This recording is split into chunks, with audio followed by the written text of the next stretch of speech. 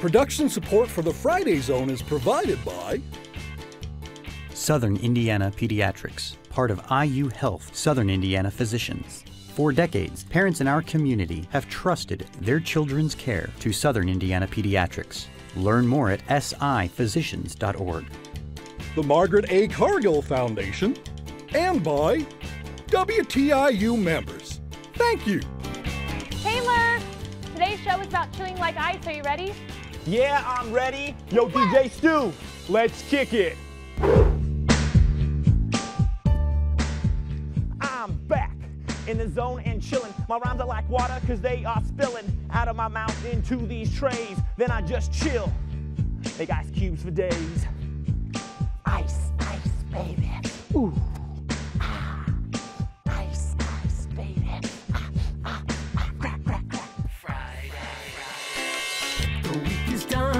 Time for fun. There's room for everyone. In the Friday Zone. So much to see. Who will we meet? It all happens magically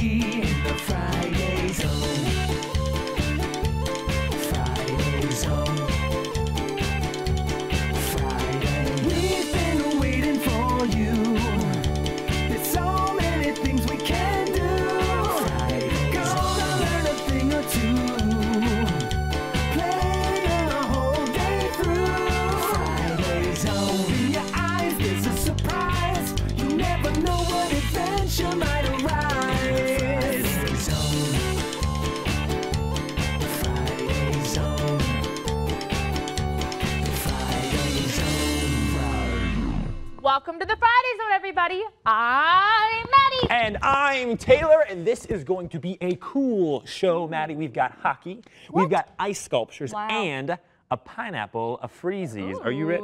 I'm not just ready, I'm too. So let's kick things off with a song off the Friday Zone playlist.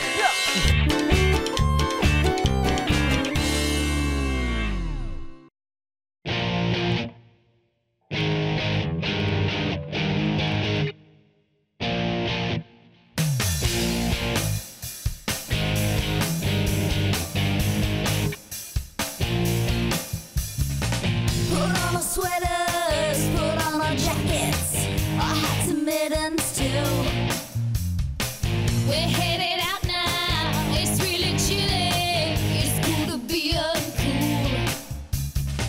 It might be raining, it might be snowing, hail is leading.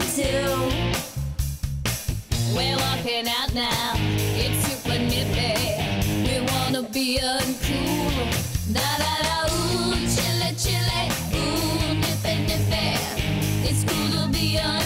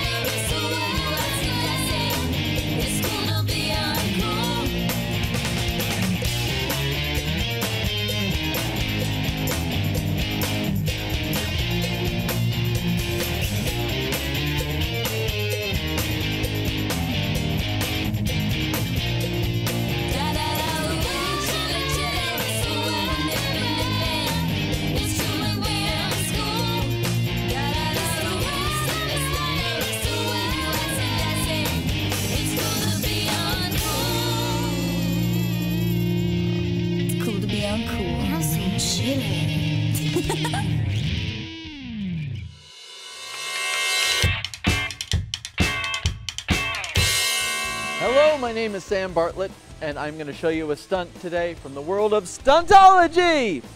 This is a great stunt, and I know I always say that, but I really mean it this time. This is the squirting straw maneuver,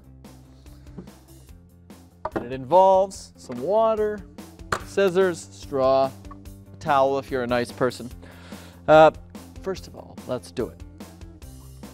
Hey, Mark, come over here. I want to show you something. All right, watch this. This is crazy.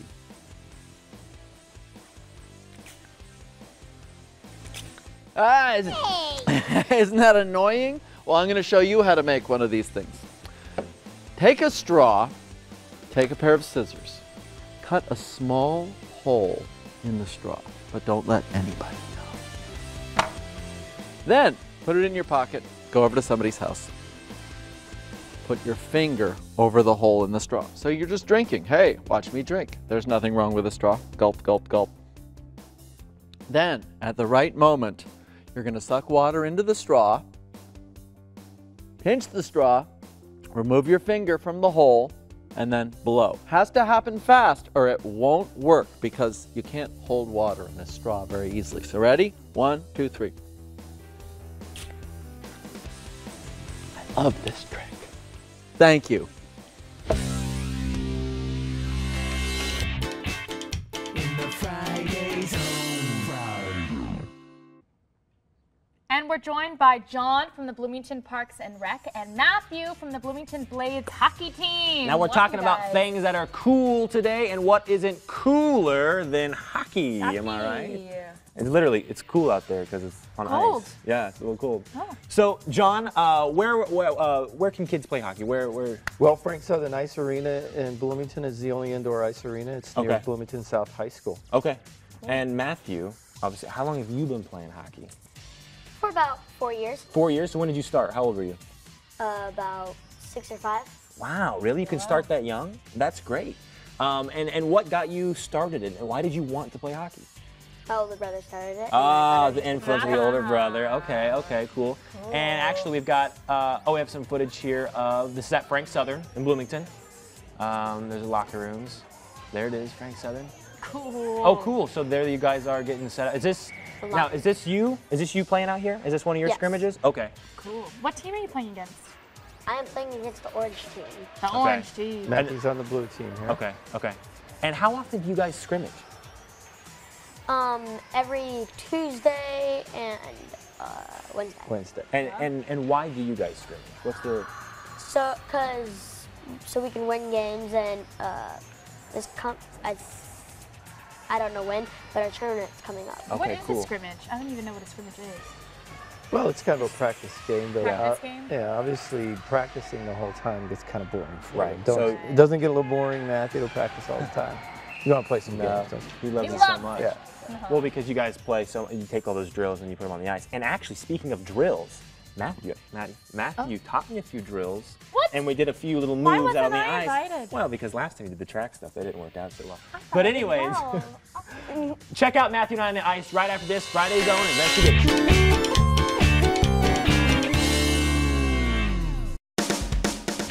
guys, we're here at Indiana Ice Studio and we're gonna check out how a block of ice can turn into a beautiful ice sculpture. Let's check it out.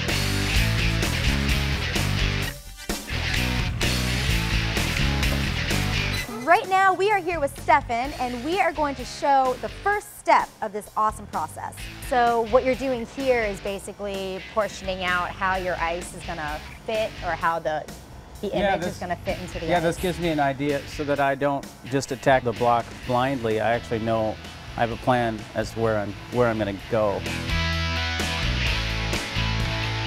Where do you get your ice from? Now you need ice, right? Oh, wow. So this is water right now. Well, this is water and ice. We try to make it crystal clear, and we do that by freezing from the bottom up. And then we've got these pumps in here. The pumps agitate the water, so it just keeps it moving so that freezes clear. Cool. How cold is this ice water? Well, on the bottom it's very, very cold, way below freezing, and then on the top it's you know right around 32 degrees. Can I try? You may try, if you dare. If I dare.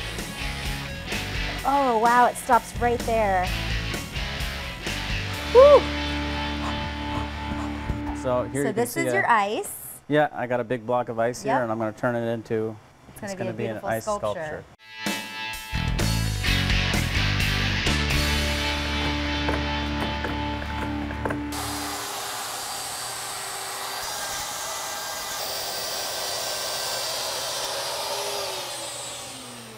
So you got your outline. Yeah, I got my outline off. Now I can just take the template off. So if you need to make some notes on your paper, you can have this paper. Thank you. You're welcome. Do you have a pen? so, Stefan, now that you have your outline done, what Yeah. what do you do now? Well, now I really just need to take everything away that doesn't look like a cornucopia, but uh, I've got that guideline right here. Mhm. So now I need to make a silhouette.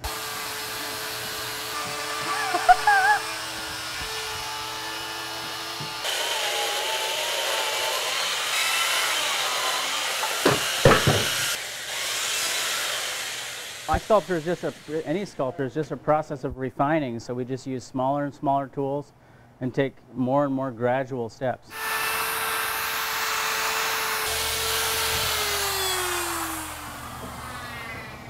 Very cool.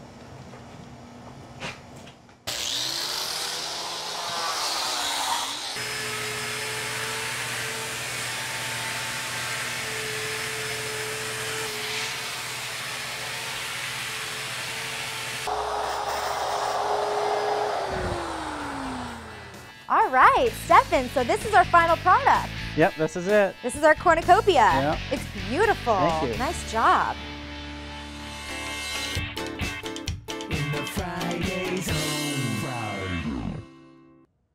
All right, we're back. Now, that ice sculpture was pretty cool, but let's take the ice and skate ourselves. Now, Matthew, you showed me first, before we even got on the ice, how to put on the gear, right? Let's check it out. That's a lot of gear. Teach me about this gear. What do I got to put on first? Well, oh, first you start with your shin pads, Why do you need these? so they can protect your shins and your knees. Okay, cool. What are they called? Breezers. Breezers. What are, like giant underwear? Is that what these are? Oh, I'm guessing that you got to wear all this padding because that puck can probably hurt Yeah. hitting you. Okay. Just like that? Am I doing this right? Yep. Cool. Okay. Just pull these over like that? Yep. Skates. Okay. I guess those are pretty important. Now, is there a certain way you need to tie them or? Any way you like. And skate two, done. Hmm, Do your chest protector. Chest protector. We need that. And that's this guy, right? Yep. It's a little different from like football pads. Okay, all pads on. Yep. Jersey? Yep. The jersey on. Okay. Looking like a hockey player. Uh, what? Helmet? Yep. Okay. What's this called on the helmet? Uh, the cage. The cage, just to protect you from any pucks, stuff like that. And you just strap it up on the. Cool. And gloves? Yes. Cool. All right, we need one more thing to play hockey, Matthew. Sticks. Sticks. Well, you wanna go play? Sure. Let's do it. That's a lot of gear you guys have to wear. Now, uh, what what do you think for you? What what is the most protective one? I gotta say the chest protector or the. Or the mat, the, the helmet? helmet, I would yeah, because think, that yeah. puck's flying around so fast. Did you just? No, you just told me you got hit in practice. Where'd you get hit at? Right in the side. And, and so the what were those called again that we put on the pants? The breezers. The breezers. so The that, those come in handy. The breezers come in handy with pucks flying at you and stuff like that. Um, and obviously the skates. Those are important. You need to. Just a little bit. well, yeah. Just a little. You could play in shoes. Right? Yeah. yeah. A little bit slippery. Um, have you ever had a, a puck to the helmet? Yes. Is it scary? It hurt. Yeah, It still? stung a hurt little with the right in helmet? the ear. Yeah, Imagine yeah. without the helmet. Oh. Oh, I know. I could. Yeah. Have you got a puck where your equipment isn't, like in the stomach or in the? Yeah. That feels good of too, doesn't it? Do you guys wear mouth guards Yes. to guard Okay. your teeth? Okay, that's good. But I mean, we're talking about a little bit, but I mean, you are very protected out there, and it's very fun, and you're going out there, and um, and that's kind of part of the sport too, the uh, going out there and, and hitting the ice. Now, along with the gear, the first thing you taught me how to do was to pass, right? So let's check that out. It's always good to know how to pass the puck. Mm. Let's check it out. All right, Matthew, teach me how to do a pass, just like a basic pass with the with the stick and the puck. Just grab the stick. Uh huh. Make sure you get a gra- good grip with your stick. Uh huh. Puck's on the tape. Slide from one end of the stick to make sure it curves. Where it and goes then- all the way up. Yeah. Well, I'm pretty slow at it, but that's all right. Do it again. Or you can put it in the middle to make it a little more straight. Okay. How do you use these drills, the stuff you do in practice, in like a game situation? Well, if you practice the drills, you can use them in games. Uh-huh. Say, like, you're over here, and somebody's over here, someone's in the center. Pass it up, pa- pass back, you can, like, just keep on doing it until you can make it into a goal. Oh, nice. And then you're using those situations where eventually You may find yourself in a game in that situation. You know how to score. And then we work on passing and stuff like that. And obviously, that's important.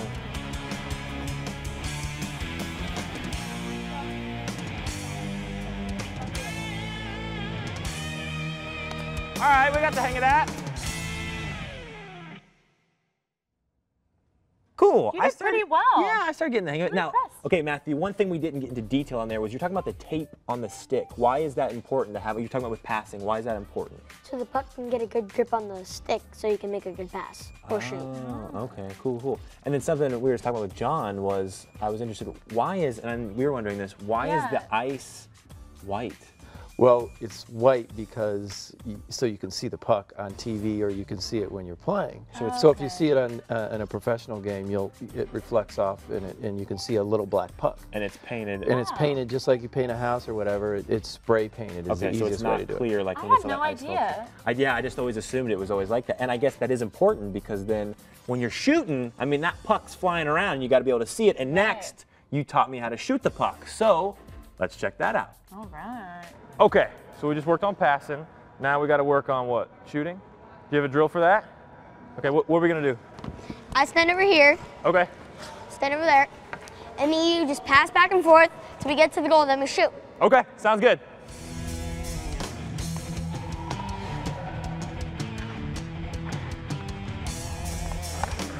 Oh!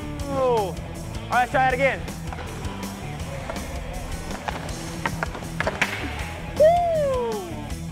I'm getting fancy. Oh. Oh! Oh. Hockey's hard, guys. Oh. That was awesome, man. Woo! He's good. They're both good.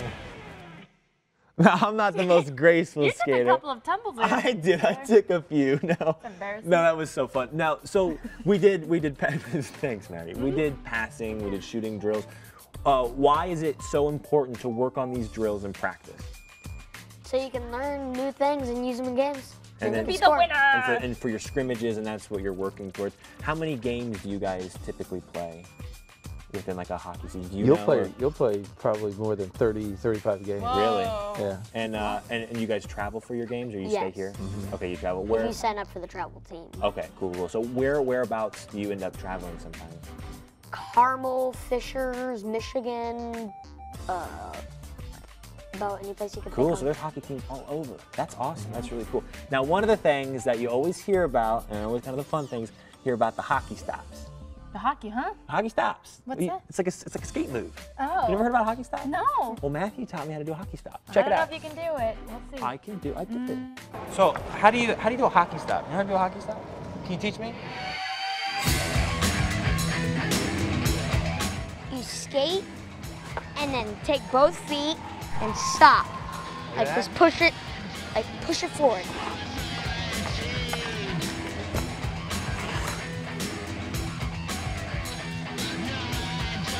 Nice. All right, let's do that hockey stop one more time. You ready? Let's go.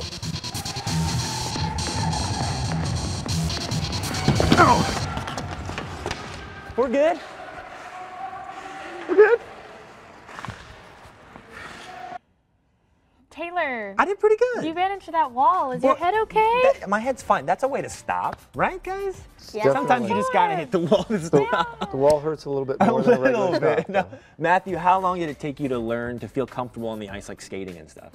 A few weeks when my brother just carried me around the ice and just lifted me off the ice, and I finally did it. Cool. So it's not a big daunting, scary thing to learn how to skate. You can go out there and do it and have fun. And, and what do they say, John? What do they say about hockey? Oh well, I think it's the best sport for kids, particularly boys. I mean, f- going fast, flying around, and you got a stick in your hand. That's right. And What could where? be better? And if they want to fly around with a stick in their hand, where can they check that out? Uh, City of Bloomington Park's website, which is bloomington.in.gov. Awesome. Cool. Awesome. Thank you guys so much for coming in, talking about one Thank of the best sports out there, right, Matthew? Yep. Yeah. Awesome. And you guys stick around because we've got more right here in the zone. In the Friday Zone.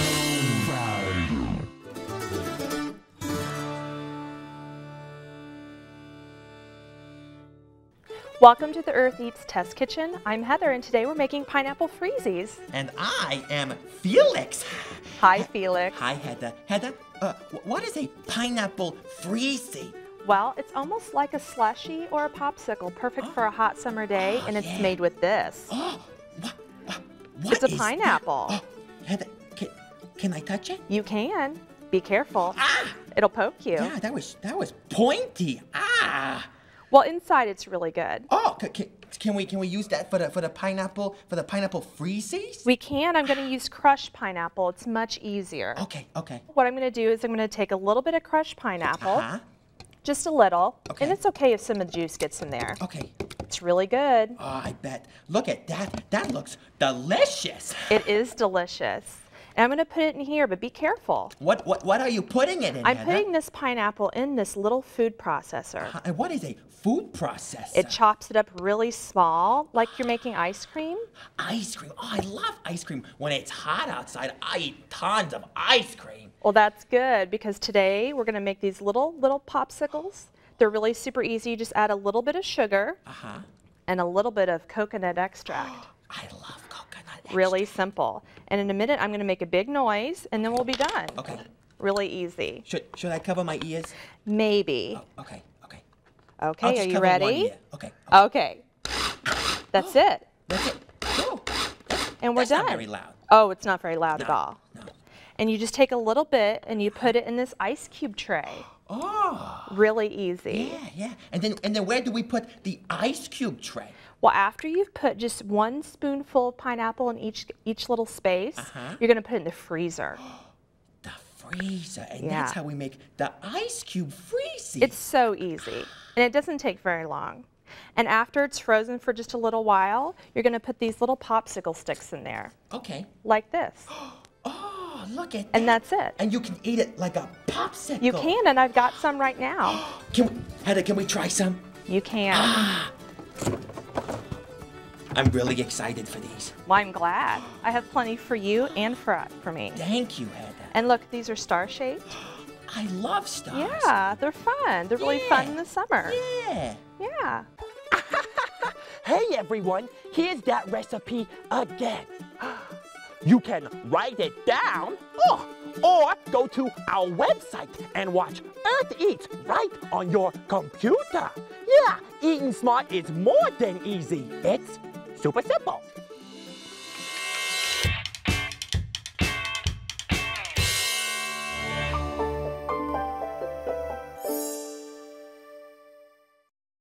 Hi, it's me, Bub. Winter time, I say, "Brr," not. Well,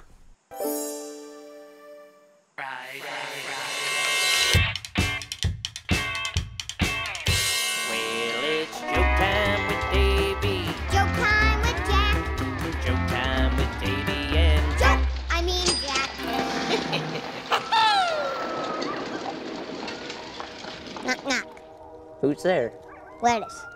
Lettuce who? Lettuce in. It's freezing out here. Welcome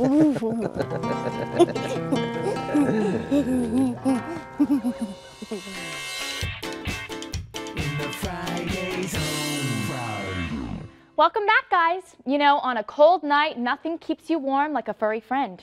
So we now welcome Sue Ann from the Brown County Humane Society, who's here to share some adoptable pets with us. Sue Ann, who do we have first? We have Pippin. Pippin. Yes, Pippin is a black and white Oh kitty. He is absolutely wonderful.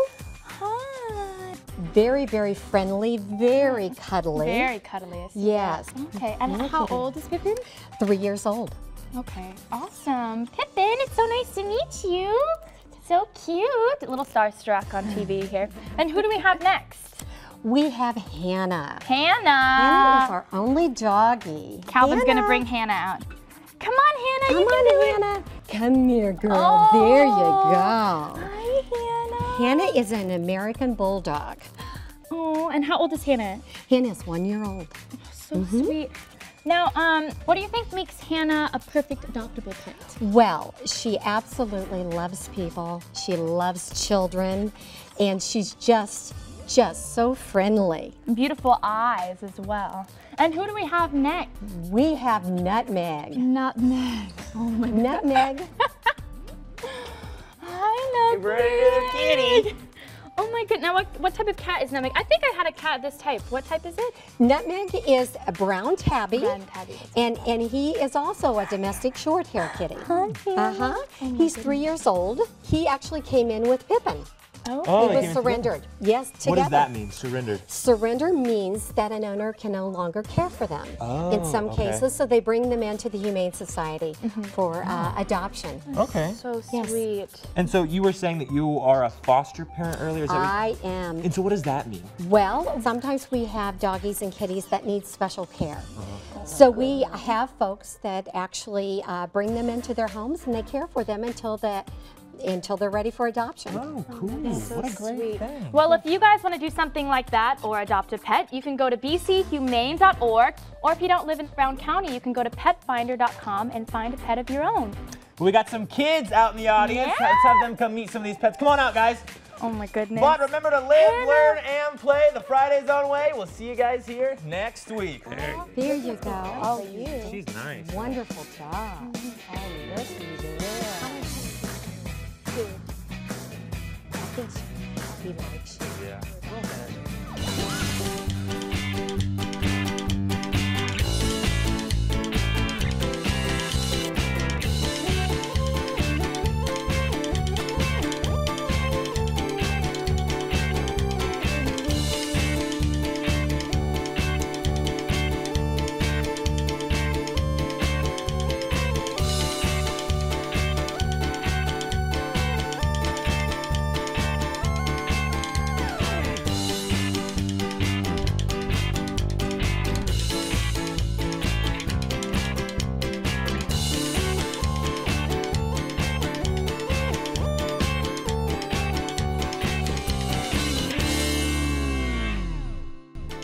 Production support for the Friday Zone is provided by Southern Indiana Pediatrics, part of IU Health Southern Indiana Physicians. For decades, parents in our community have trusted their children's care to Southern Indiana Pediatrics. Learn more at siphysicians.org. the Margaret A. Cargill Foundation and by WTIU members. Thank you.